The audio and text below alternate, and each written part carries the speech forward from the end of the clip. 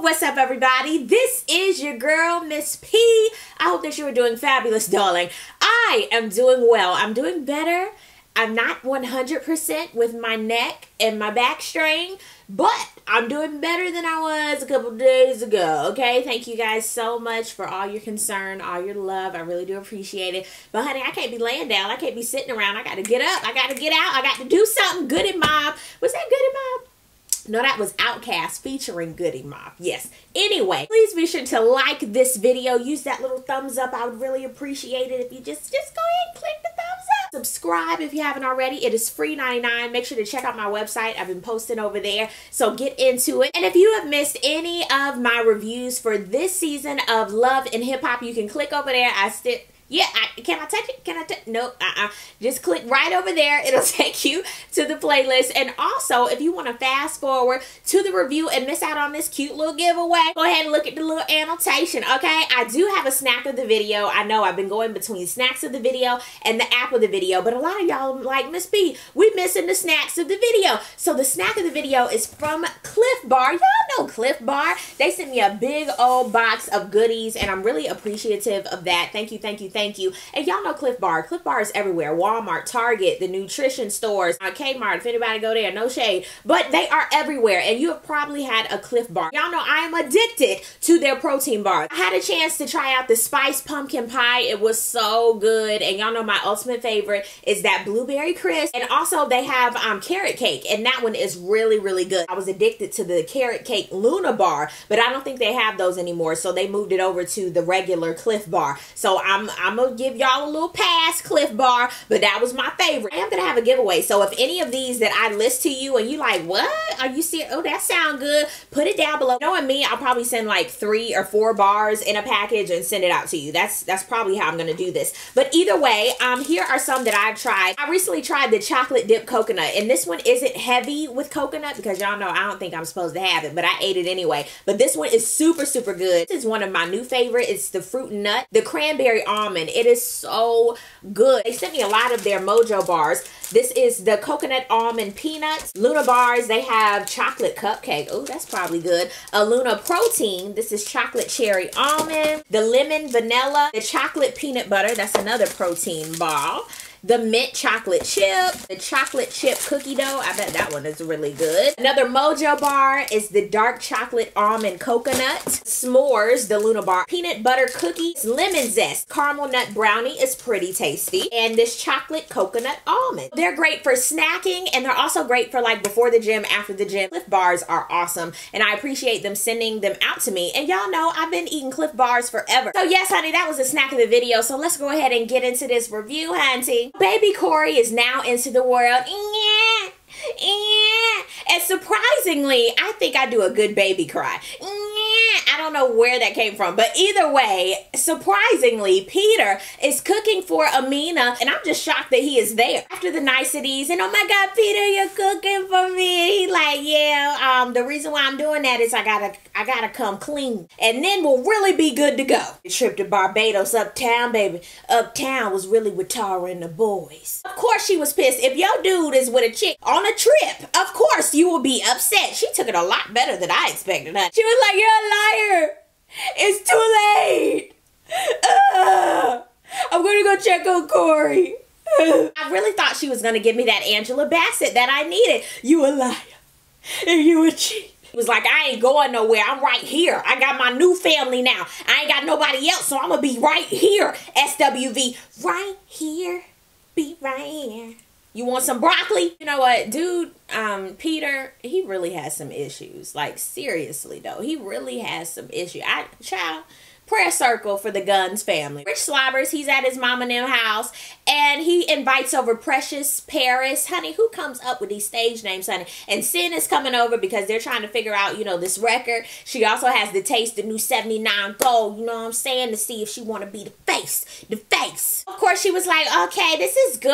I'll be the, I like this. And he was like, yeah, yeah. So Precious comes over, and they start talking about the project, and she was like, why do you want to do this? Any loss is tough. Suicide is tough. Murder is tough, honey. Cancer is tough. Any loss is tough. Honey, if somebody just pass away and they sleep, it's tough. Loss is tough no matter what. Yandy has her hair and that belly and toe like she just left Bible study. She will get out of that car. I said, yes, something has made Yandy very upset. Some stuff is going down with little Mendeecees mama. Big Mendeecees, he just is calm, making a sandwich like, bruh, man, he like, yo, you need to calm down. You need to sit down so that we can really talk about this because I can't talk to you and spread my mayonnaise. Like, I can't do both at the same time. Yandy, sit down. Yandy, Yandy. He doesn't speak to his baby mama like that. And she wants him back. She wants to spend more time with him. And he doesn't see it. He like, the last time we talked, I hung up on her. And I'm like, um, who handles parent? Who who does that? I don't have any kids. Never had any. I ain't got no baby fathers. I have. I don't have any of that. So I can't imagine what you have to go through. He was like, yo, if you want to talk to her and be the mediator, I'm like, wait, she's pregnant with your new baby. She ain't got time to be doing all that. She's like, yo, Mendeecees, if you wanna, if you want me to do that, I'll do it. And I'm like, you girl, mm, child. We're gonna have a prayer circle for the Mendeecees. We don't know the last name. I don't know their last name. We're gonna just pray for them. Yandy meets with Samantha, the baby mother, and I'm sitting here like, oh my god, are they homies? Like she did not.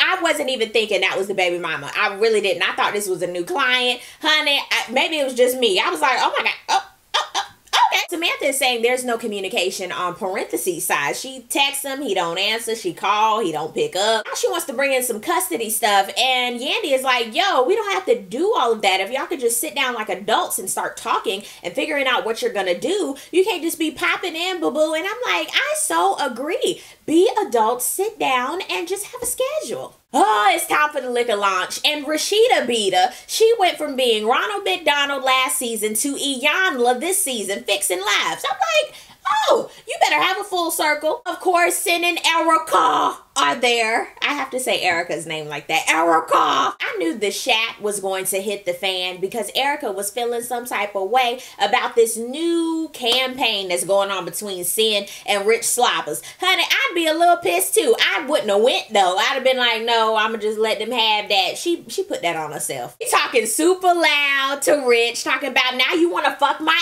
ex and also eat the pie too. And I'm like, yeah, you super mad. Like you for real, for real mad. Next thing you know, girl, girl gets on the mic acting even more extra as usual. I'm like, yeah, something is really wrong with our I have to say, good job to Cyn for not getting all up in her face and being real extra. This was her her night. And good job to Rich too. They weren't being extra. Erica was really making an ass out of herself by herself. Rich Slobbers, he meets with Chink Santana so that he can have like a real grown man conversation because ever since Mena, she she crashed my party and I, I can't be talking to these young girls. I'm like, sir, you the one who wanted her next. Also, Rich Slobbers, um, no more bottom fronts. You're a little too old for that. I, I don't let's not. He asked Chink what's going on with Chrissy, and he was like, yo, she keep pressing me, son. She pressing me. She keep pressing me about this baby, you know what I mean? She off that birth control. I don't know what to do with her. She keep pressing me about a fetus, you know what I'm saying? A fetus. She can tell me everything about my life, my time, Subway sandwiches, Jimmy John's, Chipotle, but she can't tell me if she off that pill. I'm like, whoa, Chink goes from zero to a thousand in five seconds, and you gotta really listen to figure out what he's saying. He was like, man, I'm gonna talk to her like an adult, you know what I'm saying? I ain't gonna be no foul nigga on that. I'm gonna talk to her. Are we supposed to clap for you, Chink? I mean, that's what you're supposed to do. Mendeecees, he's talking to the children so that he can stay out of jail. Cough, cough, that community service. But anyway, it, it looked good. I was like, oh, look at him talking to the kids. And Yandy comes over and she's like, hey, I talked with Samantha. And y'all really need to talk so that y'all can figure out what's going on with little Mendeecees. Because, honey, I am carrying the new Bambino. I can't be worried about everything else. And he's sitting here like, yo, she say something out of the way. I'm seriously, I'm gonna I'm get out of there. And I'm like, yo, sir, you have a walk away spirit. You cannot do that. Cyn and Paris meet up at the nail salon so that they can talk about what happened at that crazy liquor launch. Everything is still foggy with her and Erica, and there's no closure. I want that lip color that Cyn had on. I loved it. I said, yes, girl, I love that. Give me that Vampire Diaries. You better give me that True Blood lip. I love it. Amina, she wants to meet with Tara about the infamous Barbados trip because, you know, I just don't trust Peter. Right now, I, I can't trust him, so I need to talk to Tara. Tara, she already comes there combative. She like, yo, you knew what was up, homie. You knew, I'm sorry, let me do it in Tara voice. You knew what was going on. You knew what happened when you were coming into this. Sidebar, he lying to both of y'all. Y'all don't see that? Y'all arguing over the same dude, sleeping with the same dude. I don't understand. I, I don't get it. He's lying to both of you. Why y'all still. Mm. I remember that Toni Braxton, um, who knew think I am? Don't know my man, but I don't know. What was that song?